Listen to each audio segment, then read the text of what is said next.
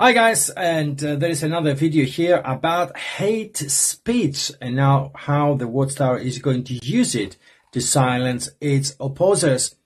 And this, as uh, I know we have been inundated by all these changes, recent changes, and you probably lost count on how many things the religion will have to change in the next few years, attire, ministry, meetings, everything.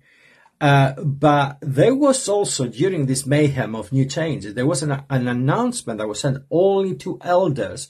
And if you go back and watch my videos, you can find it that it was making the case that the elders should use any any possible avenue, any any way they can, the new hate speech laws to uh, attack their opponents, to silence their opponents, and see how from this article, which the article is also on my website, jwupdates.com, you can see how this has, has materialized in this one of the small countries in Europe and how they have now the backing of organizations that are, uh, you know, they are also in the same, in the European Union, you have the European Court of Human Rights, you have the ECHR and they have also smaller organizations attached, attached to EV, the ECHR that they will use the Jehovah's Witnesses to stop people uh, opposing them or exposing them online or on television uh, in order, uh, and they will class it and they will call it hate speech.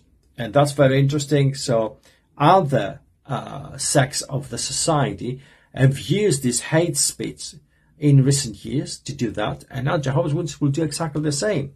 So this article, as I said, it comes from Albania, that only up to recently it was a communist country, uh, very uh, isolated from the world, and ever since it, it, opened its borders back in the 90s, I think it was in the late 80s, uh, they have slowly now used the uh, the same organizations in the European Union to modernize the country and also uh, help Jehovah's Witnesses to have a better standing there. So it says that the article about Pastor Pauline Villagetti, or Villagetti, I hope I pronounced that right, has had called the organization, the Jehovah's Witnesses, in a TV show, a dangerous satanic cult, sowing hatred and inciting suicide. That's what they claim.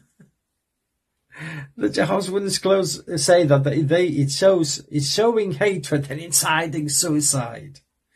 Only recently did Euronews Albania, a subsidiary of Euronews France, take out from its YouTube channel discriminatory expressions against the Jehovah's Witnesses used by guests in its popular popular talk show, Good Morning Albanians, as ordered by the Commissioner for Protection Against Discrimination. And that's the organization I told you. It's a smaller organization. It's called CPAD.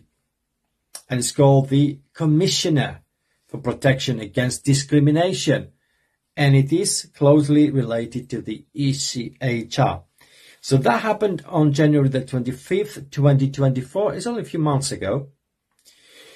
But on May the 18th, 2023, one of the topics in Good Morning Albanians was the yearly report on religious freedom that had just been issued by the US Department of State. And one of the guests invited to discuss the matter was Pastor Pauline Villagetti of the Evangelical Brotherhood, Brotherhood in Albania, who's very popular in the country. And as the CPAD, this Commission for Protection of Against Discrimination, noted Pastor Villagetti is a public person as he is regularly invited on television and other media to analyze and express opinions on various social religious events, etc. And has some 50,000 social media followers, which for a small country I think is about 2 million. I could be wrong. I think by things about 2 million people living in Albania, 50,000 social media followers especially for a Christian preacher, is quite a big number. While this, the article continues, while this was not the main theme of the discussion, Pastor Villayetti was confronted with a screenshot showing a statement he made in 2020 that the Jehovah's Witnesses had a satanic cult anti-Christians. Very interesting. They basically confronted him. He wasn't there to speak about Jehovah's Witnesses. Who put that in the mind of the presenter to confront him with a statement? Hmm. The Albanian word used was secti, which as words in other languages derived from the Latin secta should be translated in English as cult, not as sect. In fact, in English, sect has a different and less derogatory meaning, while the word used to stigmatize religious movements perceived as dangerous is cult. Villayetti confirmed that what he said in 2020 is true and reiterated that Jehovah's Witnesses are cult where there are already facts. This because of their policies, many have committed suicide, which is true. It's documented. And I think, personally, he said, this is Satanism. And continuing the discussion, he called the Jehovah's Witnesses a, dangerous cult, showing hatred and stated that these are the cults that state the state needs to deal with seriously. To be honest, the states are dealing with the Jehovah's Witnesses seriously. Norway, Lithuania, France, Spain, Holland. This is not this is not a lie. This is true, right? On May the 29th, 2023, a right of reply request correcting the statements was sent to Euronews Albania which ignored it. So they demand now, who demands that? Who demands the right for reply request correcting the statements? Jehovah's Witnesses do, right? On June the 19th, 2023, the Jehovah's Witnesses filed a complaint against both pastor, here's the thing, Villayetti and Euronews with a CPAD and also informed the State of Committee for Religions SCR. On June 27, 2023, the SCR, the State Committee for Religions, wrote to the Jehovah's Witnesses that it had shared their concerns with the Evangelical Brotherhood of Albania, telling the Protestant organization that statements like Pastor Vilayetti's do not contribute to the harmony and good relationship between among the different religions in the country. And on October the 19th, 2023, a hearing, so this case has been ongoing for the, the past in 2023. A hearing was held before the CPAD. Pastor Villayetti was asked to publicly apologize for the expressions he had used, but he refused. On January 24, 2024, May, so to January 25th, 2024, the CPAD rendered its decision against Euronews and Villayetti. The decision notes that Euronews' main defense was that there had been no discrimination because the Jehovah's Witnesses had also been invited to the talk show but had declined their invitation. So they not only get invited to give their opinion, they refuse to go and then they issue the pastor with a hate speech, you know, complaint that's back from all the usual suspects in the European Union the ones that protect cults. The decision notes that Euronews' main defense was that there had been no discrimination because the Jehovah's Witnesses had also been invited to the talk show but had declined the invitation. Pastor Vilayetti's defense largely focused on the Jehovah's Witnesses' refusal of blood transfusions, which he equated to the suicide and called a satanic practice. Where do you get that? He's watching XJW channels. But that's what I'm telling you. We have to be very careful with now what we say because they have a new weapon in their hands they're going to use against us. Hate speech. These arguments were not accepted by the CPAD, which noted that regardless of the different objections, Pastor Villayetti could raise against the doctrines and practice of Jehovah's Witnesses, the subject matter of the complaint was the use of language inciting to hatred and discrimination hate speech. So you can't say Jehovah's Witnesses practices are satanic. We have to find new ways. The CPAD found that in Pastor Vilayeti statements, believers of the Jehovah's Witnesses Albania are portrayed and labeled as negative mortals solely because of their religious beliefs.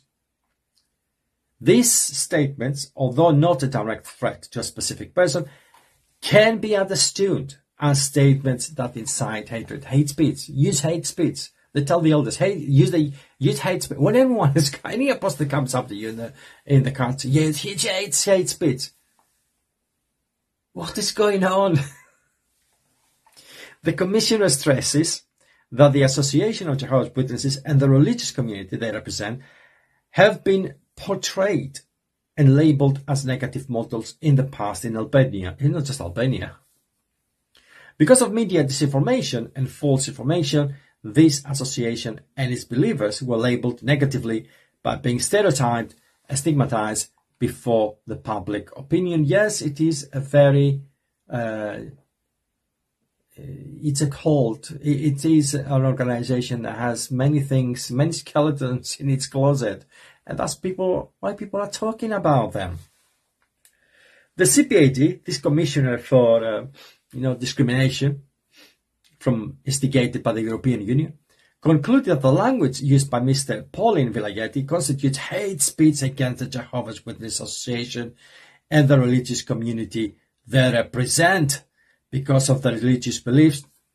The views expressed by him are in excess of freedom of expression and as such they may not enjoy protection under Articles 22 and 24 of the Constitution, Articles 9 and 10 of the European Convention of Human Rights, and Articles 18 and 19 of the International Covenant on Civil and Political Rights. So you're gonna, you're gonna silence your opposers, you're gonna silence people that they have to say something about your religion use hate speech laws instigated by the European Unity uh, Union, and they will be absolutely fine, right? They will take it to court for that. For all the above reasons, the Commissioner considers that limiting hate speech is necessary and proportionate. The CPAD's decision quoted the relevant case law of the European Court of Human Rights, ECHR, and indeed its decision appears to be in harmony with the ECHR, with what ECHR represents.